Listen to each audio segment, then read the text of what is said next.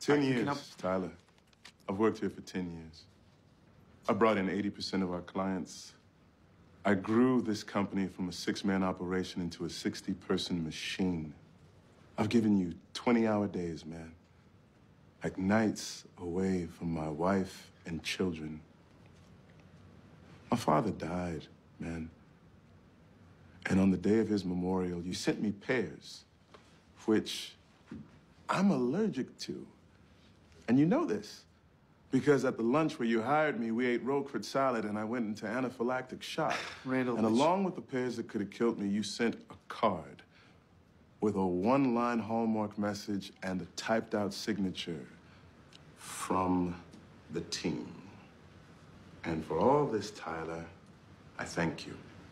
You see, for days I've been plagued by this question How do I honor my father's legacy?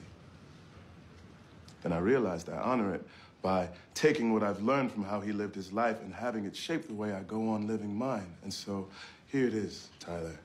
Um, I quit. Hold on. No hard feelings, man. I walk out of here in triumph.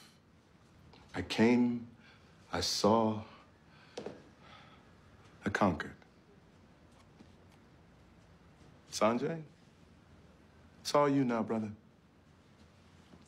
Peace. What are you gonna do?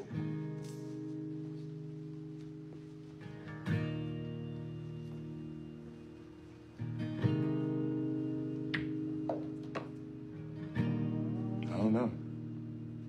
Maybe instead of running in the morning, I'll go for a walk. Slow it down a little. Talk to my mailman. That seems like a good way to start the day.